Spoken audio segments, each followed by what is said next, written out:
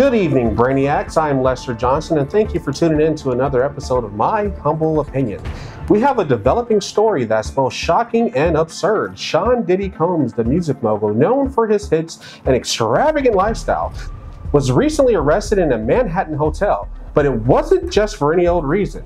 He's facing federal charges for sex trafficking, prostitution, and racketeering. Talk about a plot twist even Hollywood couldn't write. And in a move that's almost as baffling as the charges themselves, he had 1,000 bottles of baby oil confiscated. Yes, you heard me right, Rebecca. 1,000 bottles of baby oil. Um, I think at this point, even the baby oil companies are like, whoa, Diddy, slow down. Are you even able to purchase that much baby oil at one time? You're able to buy that much baby? Imagine how much money, how much thousands of dollars he spent on baby oil when mothers are struggling enough as it is to get baby supplies for their children. He's just buying thousands of bottles of baby oil? Absolutely, Rebecca. I mean, one does question where do you purchase so much baby oil at one time? Why do you need that much baby oil? I'm not sure. I mean, you know, Diddy, he is known for his extravagant parties. It could be a situation where maybe he was throwing a. Where do you get that much baby oil? I'm not Where sure. did he purchase it from? Is it the good brand too?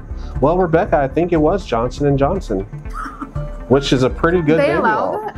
I'm not sure. You, you know, one seems to think when he made these purchases, maybe he made them under a, a, different account. He's a, a businessman. Maybe he started some sort of organization where they said, hey, we need this amount of baby oil in order to do this project. And, you know, that was something that um, they were able to work out and negotiate. If I was, okay, if I owned a business that sold baby oil and baby products, and someone like a random civilian or even a celebrity is like, hey, can I get like a couple thousand bottles of some baby oil? I'd Yeah. be like, why?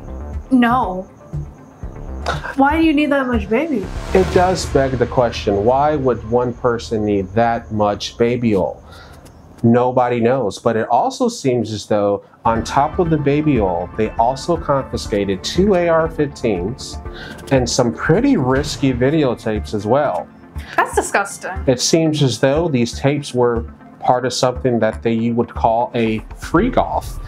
And Serious. This Hey, is horrible. it's, it's, it's extremely serious. And- Imagine, okay, no, no, no, no. Imagine, imagine you're a cop in this situation, okay? You get a call, you're probably trying to go handle some type of thing, and you bust into the door. One, you see a celebrity, one of a big, pretty big rapper, I would say, right? he's a um, mogul. He's a mogul. Yeah, one, he's, I'm not surprised because he's already not a good person.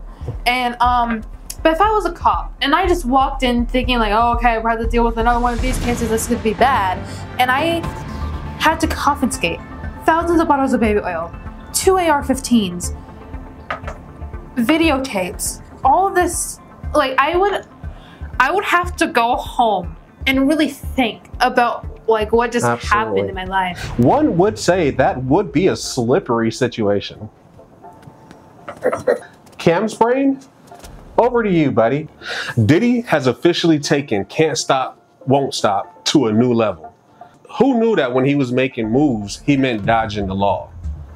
Right, I can only imagine his lawyers now saying, we need to focus on your image. And Diddy like, I'm trying to. They keep rolling out the baby oil. Meanwhile, the judge is probably thinking, you can't grease your way out of this one, Diddy. Was he planning a music video or a Quentin Tarantino movie?